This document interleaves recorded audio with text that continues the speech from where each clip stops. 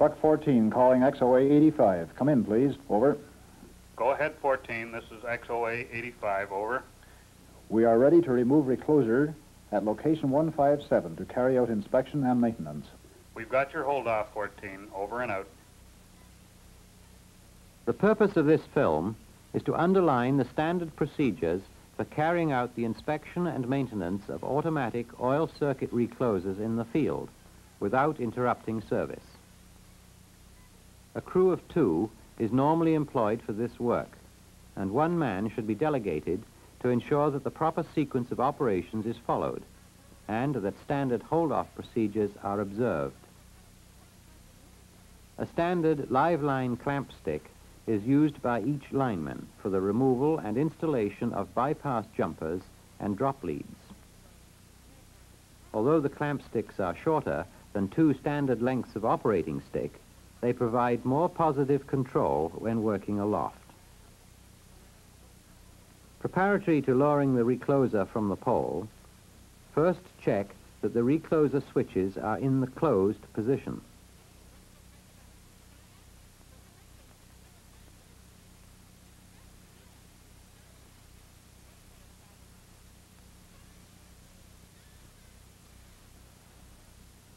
The two linemen, working as a team, then install the bypass jumpers using the live line clamp sticks.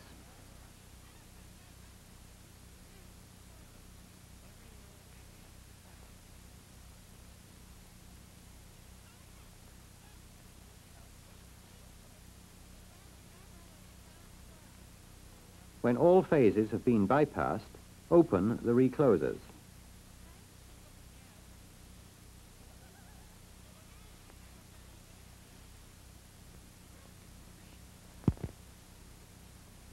Next step is to isolate the recloser, which is done by the two men working from opposite sides of the pole. By means of the clamp sticks, the drop leads are removed from the line simultaneously. This synchronized movement is important.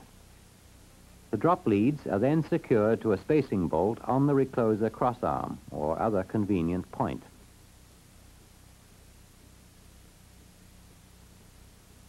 When all reclosers are isolated, the drop leads may be removed from the reclosers by hand, care being taken that the tails don't contact the live conductors above.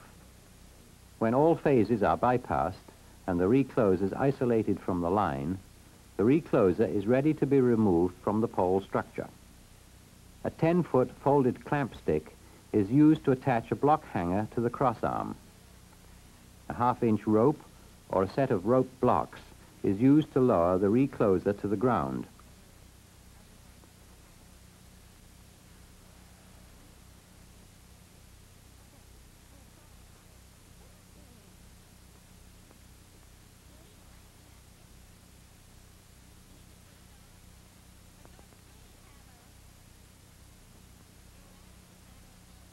On the ground, recloser inspection and maintenance is carried out according to the following sequence. The counter reading is recorded on the log sheet.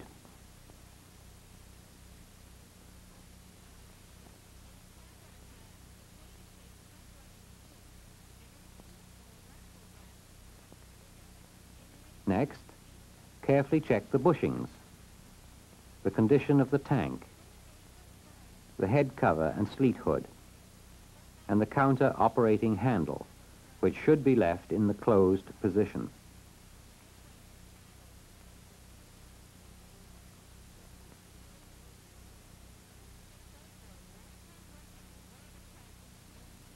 The head cover clamps are loosened with either a socket or a fixed wrench.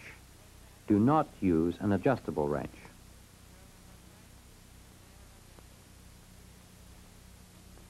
When the clamps are free, the mechanism is swirled in the oil as it is lifted from the tank. This will wash any loose particles of dirt or metal out of the mechanism.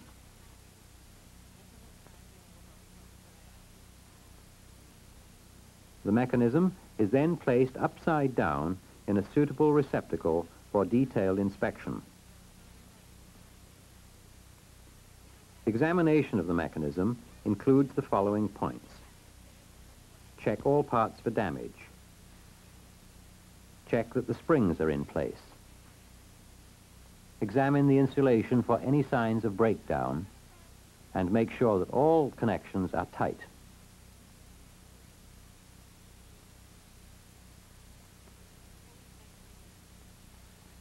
The operating handle was set in the closed position before removing the mechanism from the tank.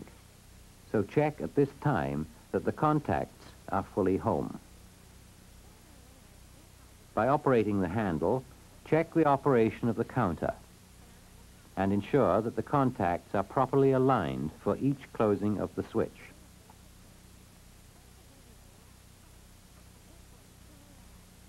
Wipe the contacts with a clean, dry rag. Under no circumstances, use emery cloth. Should the contacts be badly burned or fail to close properly, a shop overhaul will be necessary.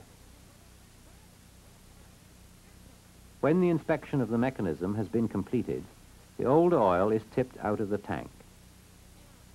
Should the old oil appear excessively dirty, the tank and the mechanism should be flushed with clean oil.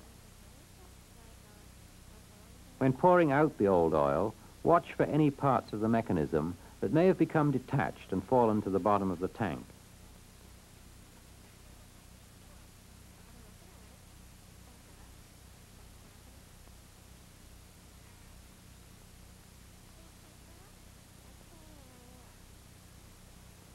The liner is now removed and the tank cleaned to remove any carbon or extraneous matter. The liner is also cleaned, and if it is wet, it should be replaced with a new liner. The liner is now reinserted and the tank filled to the correct level with new oil.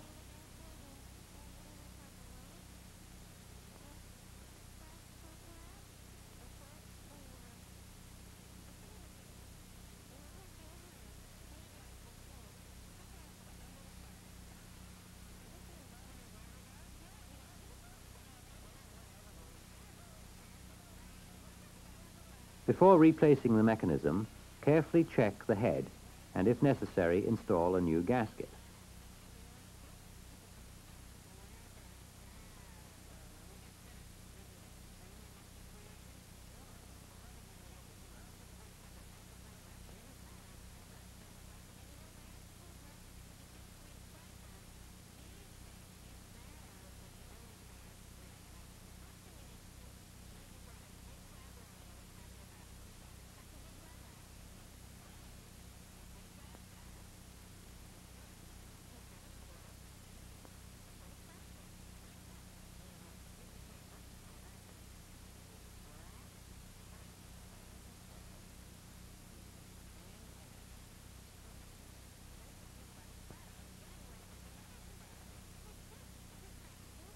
When the head has been tightened down, turn the complete unit upside down to ensure that no oil leaks from the joint.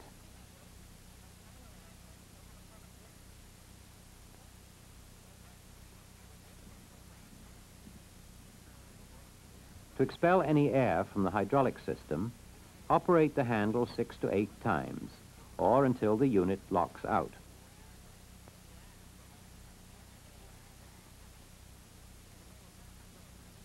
With the operating handle in the closed position, both bushings are tested to ground with the Megger.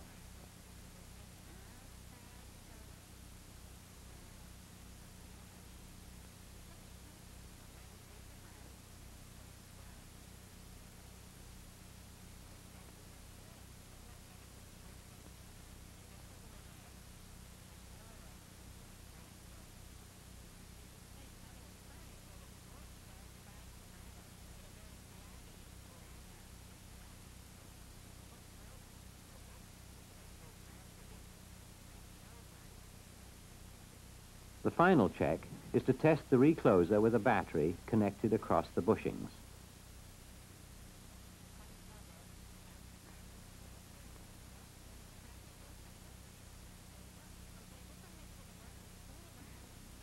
Three clicks should be heard if the mechanism is functioning correctly.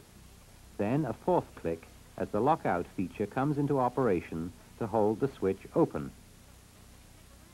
Next, check the non-reclose feature. The counter should record each of the four clicks.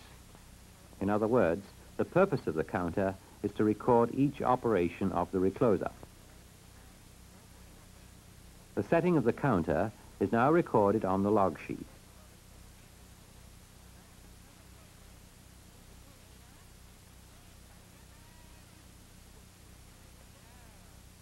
And after a final cleaning of the bushings, the unit is ready to be replaced on the pole. Replacing the equipment on the pole is also carried out to a standard sequence. It is raised into position by means of the hand line or blocks. Again, make sure that the recloser is in the open position. Then simultaneously reconnect the drop leads to the conductor.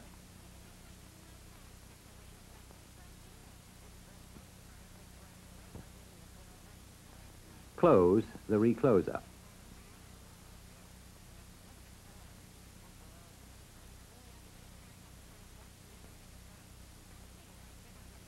Then remove the bypass jumpers.